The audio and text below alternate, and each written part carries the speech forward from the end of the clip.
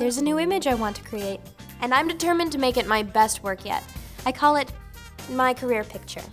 So I looked for a place with a great mix of programs and focused on the college with one of the top nursing schools, Advanced Industrial Technology, and a future performing arts center. Plus, my number one choice lets me transfer my credits seamlessly, so the work I do now will blend well with other studies in the future.